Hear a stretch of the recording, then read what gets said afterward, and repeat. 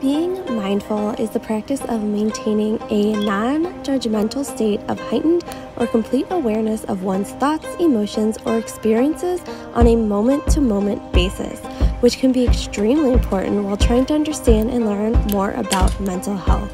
So, let me welcome you to Mindful Thoughts. My name is Deloris, and I feel like my mission in life is to help break down those barriers around mental wellness by sharing personal stories, tips, and confessions of mental health to help us shine a light on mental wellness. So, what are we waiting for? Let's dive in. Hey guys, before we jump in today's episode, I just want to say thank you to everybody who's listened so far.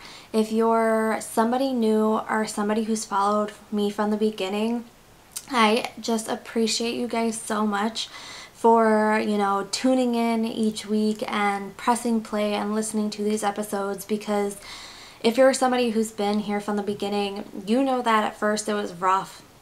And over the last two years, of podcasting, I've really trying to hone in to how I want these episodes to go and how I want to talk to you guys. And it just I am just very appreciative of everybody who's listening. You know if you're someone who's suffering from mental health and you're listening in to not feel alone or if you're somebody who's new to mental health and you're trying to learn as much as you can about it no matter where you're at uh, it's just it warms my heart to know that there's people out there that you know want to just learn more about mental health and everything and that's just what I really want to do is just you know share more about mental health. So it's something we talk about more and more people can share and it's not something that is kept quiet.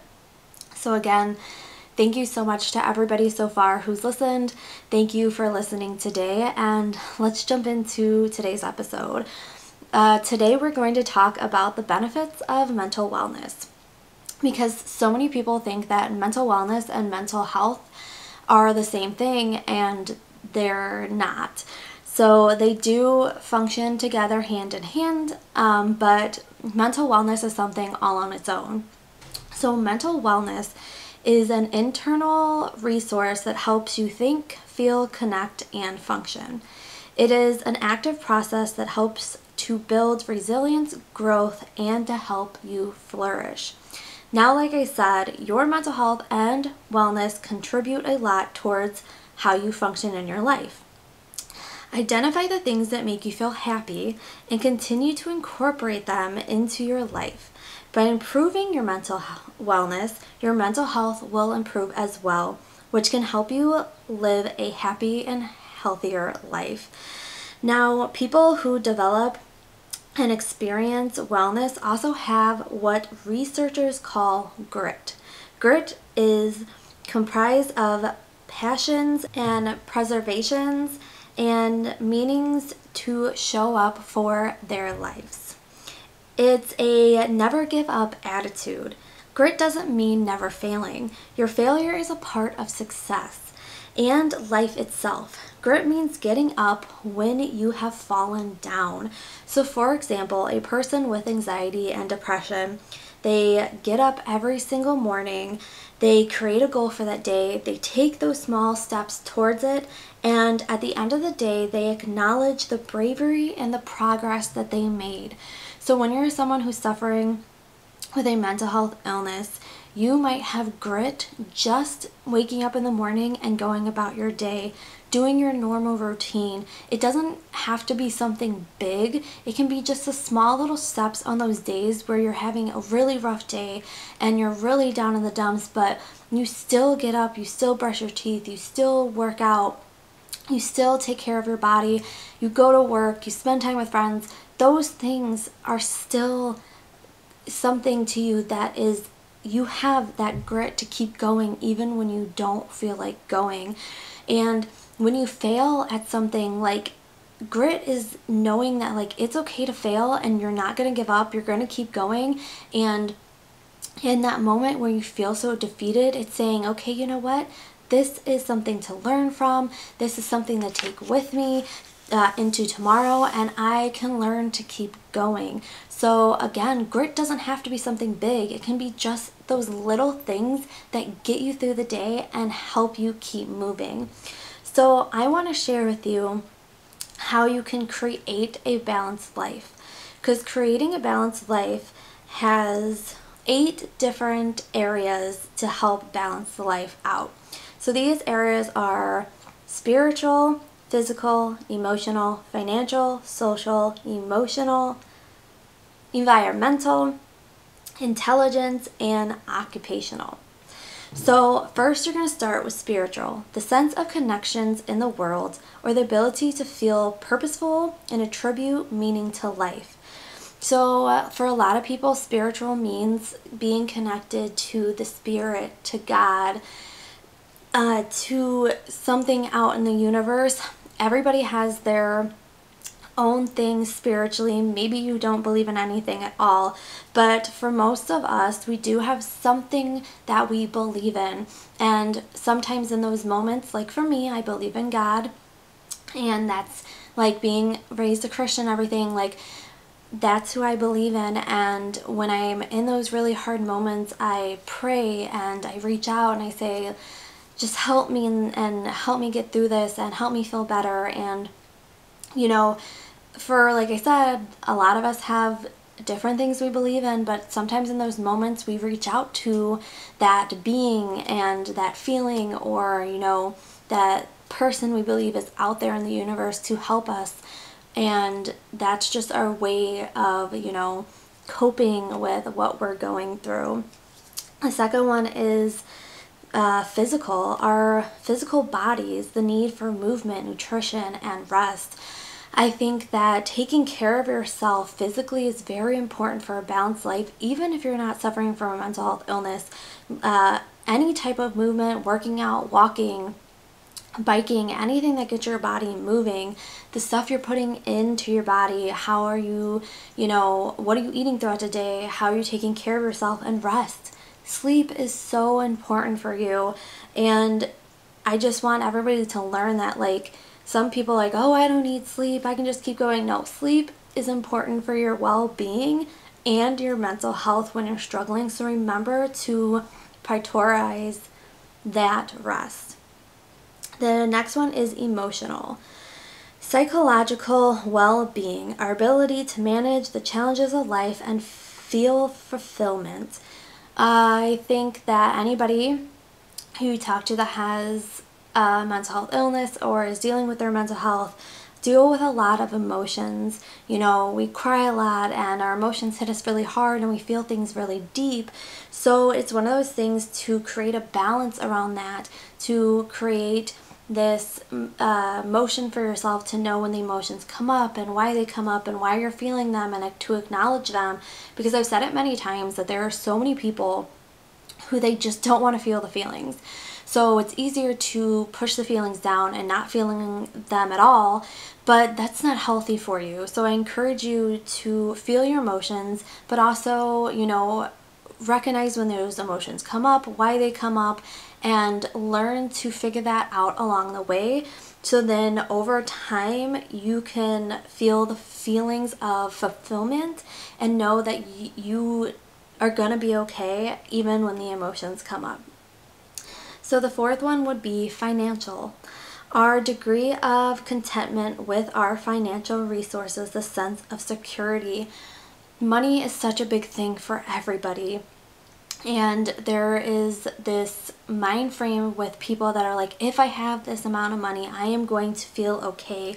Like i'm going to have this sense of security inside me. So to create a balanced life it's you know taking the spiritual physical and emotional but also taking this financial and saying like i'm going to be okay even if i don't have this certain amount of money in my bank account and I'm not just like striving for this amount of money because too many times we're striving for something and we're striving for this amount. And now I'm gonna be okay once I hit, you know, a thousand dollars, five thousand, ten thousand, uh, one million. It's like this amount where like I'm gonna be okay. This is gonna mean that I'm successful if I meet this amount of money and I truly think if you live like that, you're always going to be pushing and striving and going and going and going, and that's just not healthy.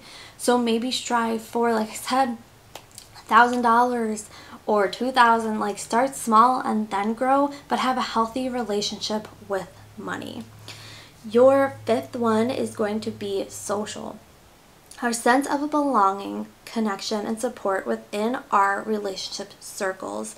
To create a balanced life, you need to have healthy relationships. And there are too many of us who have very unhealthy relationships that'll keep going in those relationships because we have this fear of losing somebody or not having somebody in our lives. And most of the time, we don't recognize when people in our lives are just not meant to be there. You know, we're in bad relationships. Our friends are bringing us down. Sometimes they're even family members in your life that just like are very unhealthy and they're toxic.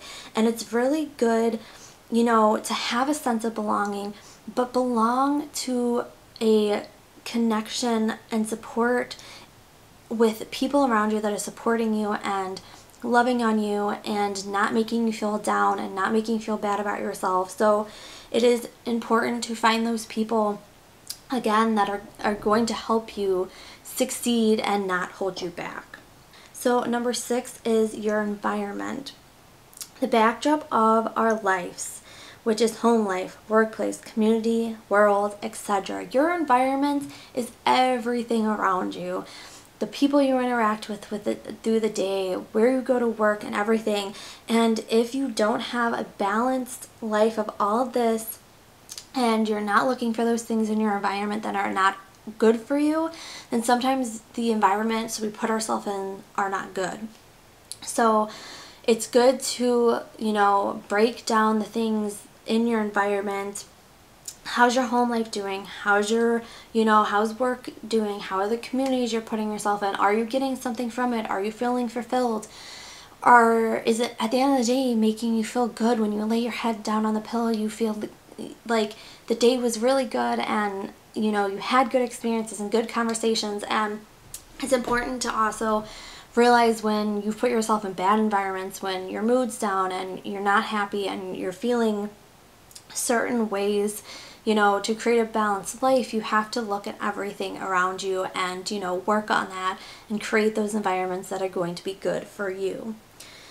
Number seven is intelligence, our creative outlets. The ability to take on challenges that expand our understanding, acknowledge, and skills. Being creative is a way for people to connect with other people. So it could be being creative on social media, it could be creating YouTube videos, it could be doing podcasts. People like to paint, they uh, like to knit. Have something that you're able to put your creativity in because that area of your life is when things get really hard or you seem like things aren't going your way. It's almost like having a hobby where you enjoy doing it. It's a moment to take a step back and take care of yourself and do something for you and not worry about everything else that is going out out in the world and the things you can't control. So I encourage everybody to have something as a creative outlet to go to, to relax, uh, even if it's reading and like I said, painting, just something that brings you joy and relaxes you and resets you before you have to go back out into the world and you know navigate whatever you're going through. And the last one is occupational the sense of fulfillment one gets from their job. So to have a balanced life all around you should be doing something that brings you joy. You should be working somewhere that makes you happy to go there and you know that when you go there you're, you're going to put the work in and you're going to do something good and it's going to make a change because too many of us will work at a job where we're miserable but you know we need the money and that's where the financial comes in. And if we don't have a job then we don't have the money and we can't pay our bills. And we will work somewhere where it just makes us miserable and we don't want to be there and we just dread going there every day. And when you feel that way like the just enjoyment you would get out of work or the sense of fulfillment is not going to be there because you are just simply not enjoying where you're working and the time you're spending. And for a lot of us, we'll look back and be like, I wasted so much time doing something that just, you know, sucked the life out of me and I didn't enjoy. So I'm not encouraging you. Please don't take this as encouraging you to go and quit your job because you don't like it. I think if you're working somewhere that you don't enjoy, you know, talk to a, a, a coworkers about it. Talk to your boss. See if there's another, you know, department that you really wanted to work in that uh, you can go and work in and try something new or ask to learn something new you know, upgrade your position. But if you're somewhere where you just feel like, you know, you've learned it all and there's nothing left, but there's another job out there that you've really wanted to do and you've just never, you know, put an application in because you don't think you're going to be able to do it, I encourage you to put that application in and go for it and just try it because you will never know if you are fully going to enjoy something unless you take that first step and try it.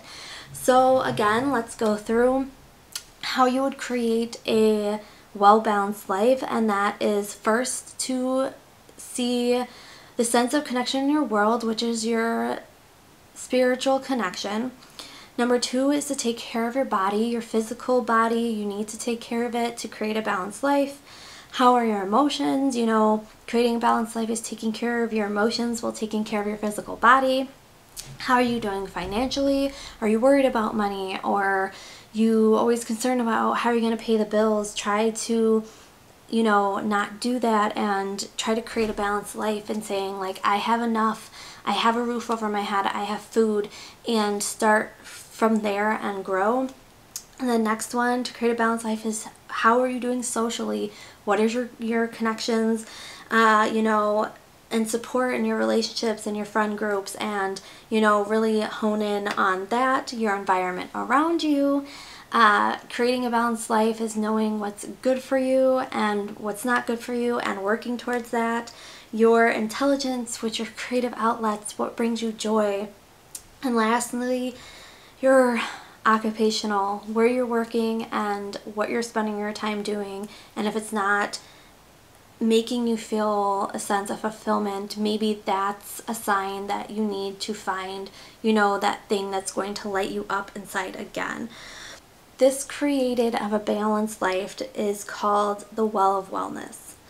All of the eight dimensions are interconnected and are important to living a well-rounded and balanced lifestyle. So when you start creating this balanced life, I want you to go through all eight of these and kind of see where you're at on each one and whichever ones you need to work at, work at, and then keep working at it every single day. So before I leave you, I want to share with you seven self-care tips for improving your mental wellness. Number one would be to take a long relaxing soak with bath salts. It's a way just to relax and de-stress from the day and, you know, not worry about anything that went on. Number two is get creative. Write down some aspirations and create a vision board. Do something again creative for yourself that brings you joy and set your heart on fire and makes you just like feel so connected and centered with yourself. Number three is to listen to your favorite music, audiobooks, or podcasts.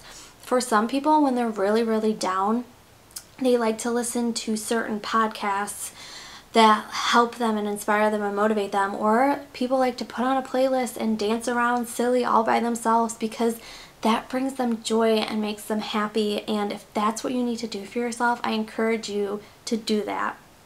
Number four is to have a pamper evening face and hair mask.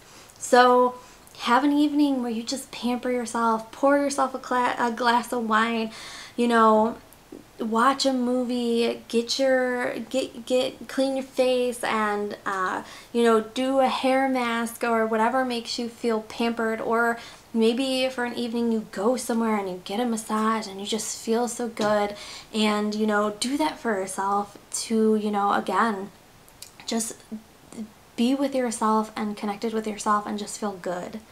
Number five is breath work and present moments to meditate to calm the mind. Uh, a lot of people are getting into breath work to calm them down and meditation just to kind of sit in the silence and soak it all in and again be centered with yourself. A lot of people I, again are doing breath work because that's another way to get connected with yourself. And you know sometimes things come up and you'll you'll feel feelings and you you work through that with yourself. So I encourage you to try those or try journaling. That's another form of just you know getting it out and not sitting with it and seeing how you feel at the end of it Number six is to make some fruit infused water. A lot of people like to put fruit in their water. They like to put lemons and stuff like that. So you can try different things.